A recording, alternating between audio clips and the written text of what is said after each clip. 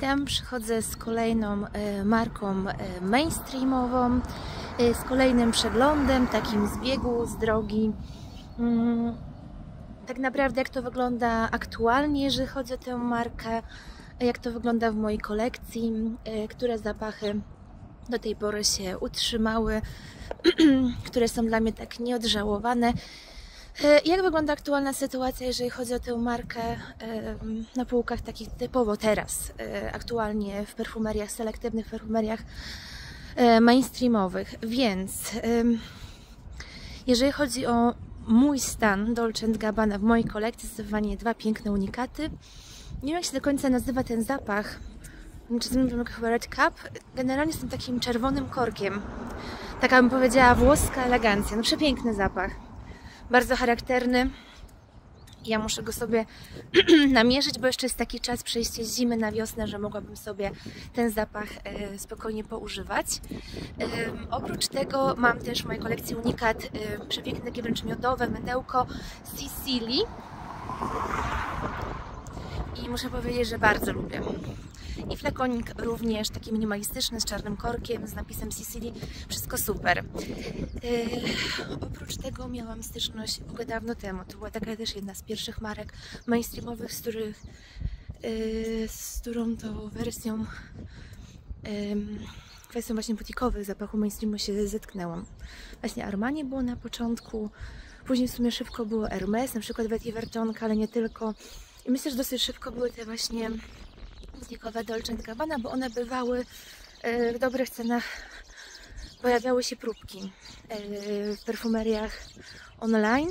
Natomiast e, żaden z tych butikowych, żaden z tych butikowych Dolce Gabbana jakoś tak no nie zaiskrzyło. Z Dolce Gabbana doceniam ich klasyczne D1. Te wersje inne może nawet też pod kątem ładnej, udanej, nie jakiejś takiej płaskiej, nie nazwy spożywczej, ładnej waniliowości. Jak wspominałam, że właśnie Kenzamur, dawne, budyniowa wanilia, właśnie e, Diwan, taka elegancka wanilia z Dolce Gabbana i również Hypnose Lancome, które z Lancome będą omawiane za jakiś czas, bo idą marki po kolei, tak jak zostały wybrane e, w głosowaniu czy wyborach w komentarzach, czy w jakichś tam zaplanowanych e, markach, natomiast, czy obiecanych. E, natomiast, więc to jest taki aktualny stan. E, z Dolce Gabbana z tych nowych jest to Q i ma ciekawe otwarcie, takie trochę styl owocowości, cierpki, strony pożyczkowości, niepożyczkowości takich dawnych zapachów, nie wiem, In Love Again, Baby Doll, ale jednak się na skórze sprawdzałam dwukrotnie, jednak osładza, ale gdy ktoś używa teraz tych aktualnych zapachów, to ten zapach podejrzewam może się ładnie ułożyć i nie wysłodzić tak jak na mnie. Także jest nadzieja.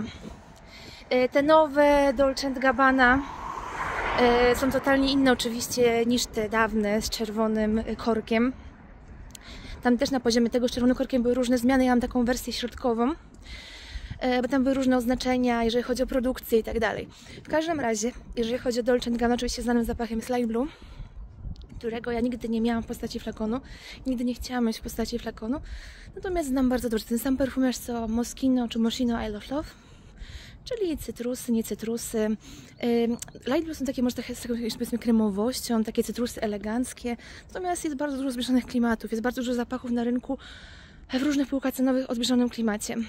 Powstała ta nowa wersja, jakieś tam inne, sprawdzałam, ale jednak cały czas jednak jest kwestia tego klasyka. Jeżeli chodzi o Dolce Gabbana, czy coś jeszcze tutaj bym... A, miałam kiedyś, od koleżanki dostałam trochę, chyba się mówi B, jakiś tam panterkowy, niepanterkowy flakon i ja kiedyś styczność z tym zapachem takim takim nieodżałowanym unikatem miałam, ale zbyt pobieżnie go poznałam niestety i nie wiem, gdzie już mam resztkę tej próbki, niestety. Jakoś tak przy pierwszym zetknięciu uznałam za dobry zapach, ale jakoś tak no nie wstrząsnęło, nie zaskutkowało tym, że ja muszę mieć flakon yy, czy coś na takiej zasadzie. Także zdecydowanie mam gdzieś mocno w sercu właśnie te dwa unikaty Dolce Gabbana z czerwonym korkiem oraz Sicily. Butikowe okazały się takie sobie. A z aktualnych myślę, że jeszcze sobie posprawdzam to Q.